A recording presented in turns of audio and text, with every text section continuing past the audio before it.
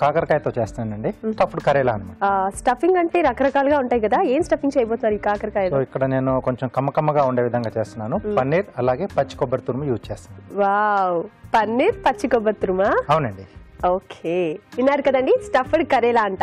మరి దానికి కావాల్సిన పదార్థాలు ఏంటో ఇప్పుడు చూద్దాం. స్టఫ్డ్ కరేలా తయారు చేయడానికి కావాల్సిన పదార్థాలు.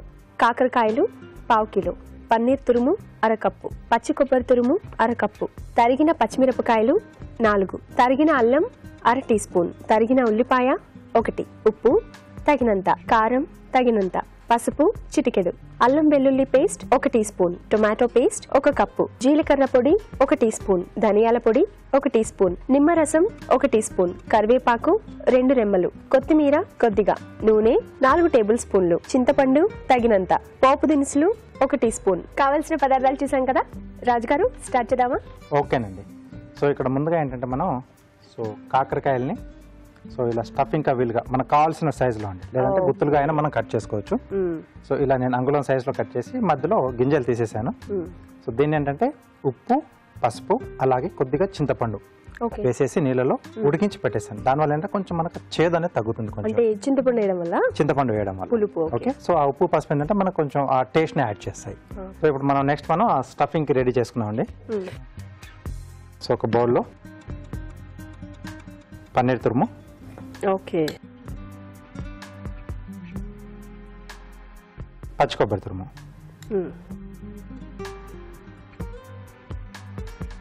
సో పచ్చిమిరపకాయలు. సన్నగా తరుక్కున్నాం. అలాగే అల్లం ముక్కలు కూడా. కొద్దిగా కొత్తిమీర. ఓకే. సో ఇక్కడ కొద్దిగా ఉప్పు. కొంచెం జీలకర్ర పొడి. కొద్దిగా నిమ్మరసం. ఓకే. దీన్ని మనం ఏం కుక్ చేయాల్సిన అవసరం లేదా? అక్కర్లేదండి. ఓకే. స్టఫ్ చేసేసి మనం గ్రేవీ చేసుకున్న తర్వాత అప్పుడు సో దాంట్లో వేసేసుకుంటే సరిపోతుంది. ఓకే. సో ఇవన్నీ బాగా కలిపేసి పెట్టేసుకోవాలి. సో దీంట్లో కావాల్సిన ఏదైనా పౌడర్లు కూడా యాడ్ చేసుకోవచ్చు. కొబ్బరి పొడి కానీ వేయించిన పల్లీల పొడి కానీ వేయించిన నువ్వుల పొడి కానీ వేయించిన శనగపప్పు ఉంటుంది కదా పుట్నాల పప్పు అంటారు. సో అది కూడా మనం కొంచెం పొడి రూపంలో చేసి కూడా యాడ్ చేసుకోవచ్చు. స్టఫింగ్. స్టఫింగ్ చేసుకోవాలండి.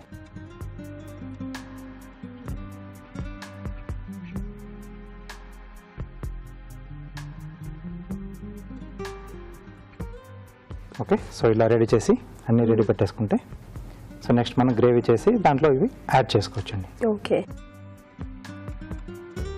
సో స్టఫింగ్ మనం చాలా రకాలుగా చేసుకుంటాం కదా కొంచెం ఇది కొంచెం కమ్మ కమ్మగా ఉంటుంది మనకి. ఓకే సో ఇలా అన్ని మనం ముందుగా స్టఫ్ చేసి రెడీ పెట్టేసుకోవాలి. ఓకే. సో ఇది మనం కొంచెం లైట్గా పోపులా వేసేసుకొని ఫ్రై చేసి స్నాక్ లా కూడా తీసుకోవచ్చండి. ఓకే ఉట్టి వాటిని. ఎస్ అండి. సో దాంట్లో ఇంకొంచెం చాట్ మసాలా అవి చేస్తే ఇంకొంచెం పులుపు కూడా యాడ్ అవుతుంది. ఓకే. సో ఇప్పుడు మనం గ్రేవీ రెడీ చేసుకుందాం.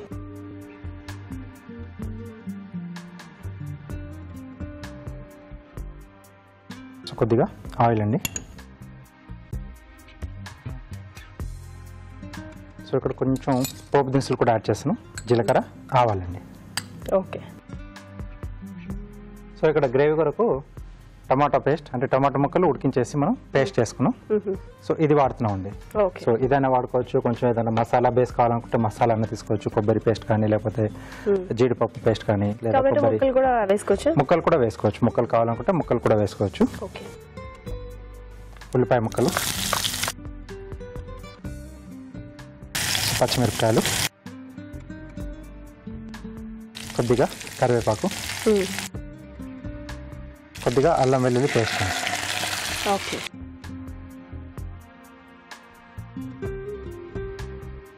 సో ఇది కాస్త వేగాలండి. అంటే మనకు అల్లం వెల్లుల్లి పేస్ట్ కానీ అలాగే ఈ ఉల్లిపాయలు ఈ రెండు కూడా కొంచెం వేస్తే మిగతాది మనకు కొంచెం ఫాస్ట్గానే అయిపోతుంది.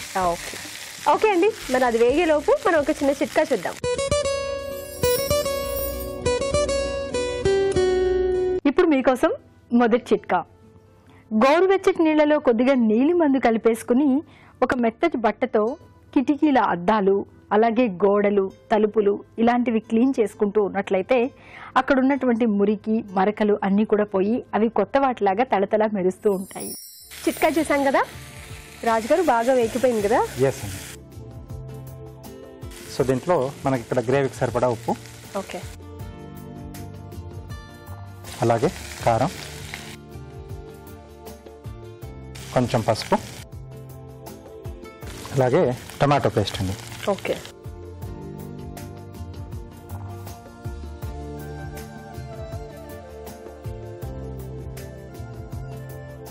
సో దీంట్లో కొద్దిగా జీలకర్ర పొడి కొద్దిగా ధనియాల పొడి ఓకే. కొద్దిగా వాటర్ ఇస్తారా?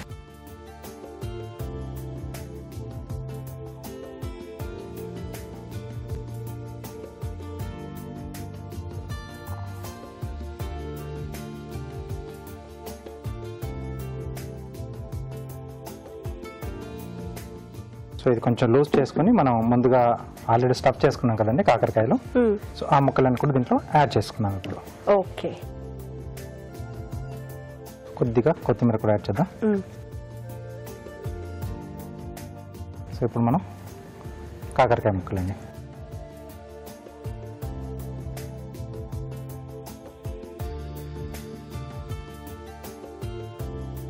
సో కొద్ది కొద్దిగా గ్రేవీ పైన కూడా వేస్తే మొత్తంగా పట్టేస్తుంది. స్టఫ్ చేసుకున్నాం కాబట్టి మనం అలా తిరిగేస్తూ ఉంటే మధ్యలో ఉన్న స్టఫ్ ఊడిపోతుంది. ఒక్కొక్కసారి ఊడిపోయే ఛాన్స్ ఉంటుంది. కాబట్టి ఇలా గ్రేవీ మనం వేడి వేడి గ్రేవీ కొంచెం అలా పైన నుంచి వేస్తుంటే సో వాటి లోపల కూడా పట్టేస్తుంది. ఓకే? మూత పెట్టేసి ఒక రెండు నిమిషాలు మగ్గిచ్చిద్దామండి. సో ఆ ఫ్లేవర్స్ అన్ని లోపల మూత పెట్టేసి అంటే బాగా లోపలనే తిరుగుతాయి కాబట్టి వాటి ముక్కలు కూడా బాగా పట్టేస్తుంది అవును. ఆ కాకరకాయ కూడా ఆల్రెడీ ఉడికించాం కాబట్టి ఆ ఫ్లేవర్ పట్టేంత వరకు. పట్టేంత వరకు ఎస్ చూద్దామా రాజు గారు ఓకేనండి. ఎస్ స్మెల్ బాగుంది. ఓకే సో రెడీ అయిపోయిందండి.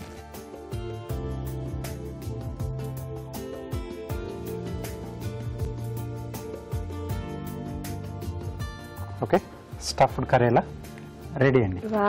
స్టఫ్డ్ కరేలా రెడీ అయిపోయిందండి. మరి దీని తయారీ విధానం మనకు సరిచిద్దాం స్టఫ్డ్ కరేలా తయారీ విధానం. కాకరకాయలు స్టఫింగ్కు వీలుగా కట్ చేసి ఉప్పు పసుపు చింతపండు వేసి ఉడికించి ఉంచాలి. ఒక బౌల్లో పన్నీర్ తురుము తరిగిన పచ్చిమిర్చి అల్లం కొత్తిమీర ఉప్పు జీలకర్ర పొడి నిమ్మరసం వేసి బాగా కలుపుకోవాలి. ఈ మిశ్రమాన్ని ఉడికించిన కాకరకాయ ముక్కల్లో కూరి ఉంచాలి. పాన్లో నూనె వేసి పోపు దినుసులు తరిగిన ఉల్లిపాయలు తరిగిన పచ్చిమిరపకాయలు అల్లం వెల్లుల్లి పేస్ట్ వేసి వేయించాలి. దీనిలో ఉప్పు కారం పసుపు టొమాటో పేస్ట్ వేసి కాస్త ఉడకనివ్వాలి. తర్వాత జీలకర్ర పొడి ధనియాల పొడి స్టఫ్ చేసుకున్న కాకరకాయలు వేసి ఉడకనివ్వాలి. ఆపై సర్వింగ్ బౌల్లోకి తీసుకొని కొత్తిమీరతో గార్నిష్ చేసి సర్వ్ చేసుకుంటే stuffed karela ready.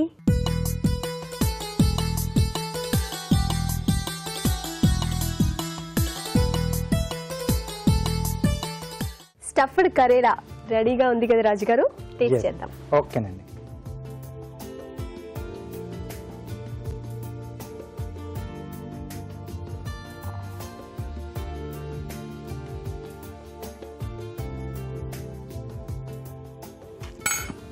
ఆ స్టఫింగ్ బాగుంది.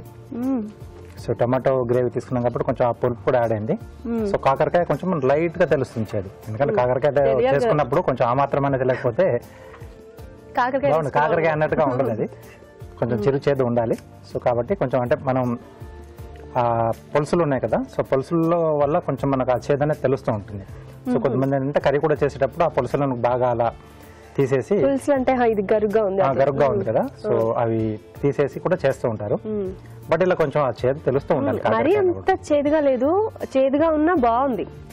అంటే స్టఫింగ్ వల్ల మనకి కొంచెం కమ్మదనం తెలుస్తుంది. కొంచెం నిమ్మరసం అది పిండాం మనం. అల్లం పచ్చిమిర్చి జీలకర్ర పొడి ఇవన్నీ కూడా యాడ్ చేసాం కదా స్టఫింగ్లో సో టేస్టీగా ఉంది. అవును చాలా టేస్టీగా ఉంది. చాలా బాగుందండి. మీరు కూడా తప్పకుండా ట్రై చేయండి.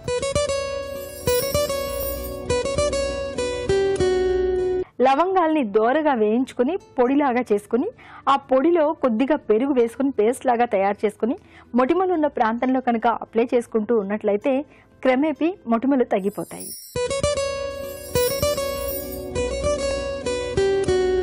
బొప్పాయి తింటే ఆరోగ్యానికి మంచిది ముఖ్యంగా షుగర్ పేషెంట్స్కి మరీ మంచిదని మనం ఎప్పుడు చెప్పుకుంటూ ఉంటాం.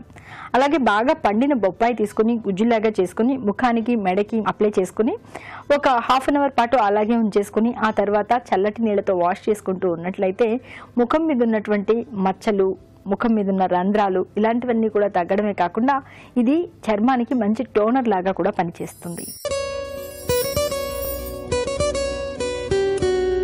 కొంతమంది చపాతీలు చేస్తే మూడు నాలుగు గంటల వరకు కూడా సాఫ్ట్గా బాగా మృదువుగా ఉంటాయి. మరి కొంతమంది చపాతీలు చేసుకుంటే కాస్త గట్టిగా తినడానికి కాస్త నోరు నొప్పి పెట్టే విధంగా ఉంటాయి. పిండి ఒకటే అయినప్పటికీ కూడా ఈ తేడా ఎందుకు అంటే పిండి కలుపుకునే విధానంలో కాస్త తేడా ఉంటుందన్నమాట. అందుకే ఈసారి చపాతీ పిండి కలుపుకునేటప్పుడు పెరుగు తోడు పెట్టుకున్న తర్వాత ఆ పెరుగు మీద తేట ఉంటుంది కదా ఆ తేట నీళ్ళు కనుక వేసుకుని పిండి కలుపుకున్నట్లయితే చపాతీలు మరింత మృదువుగా వస్తాయి.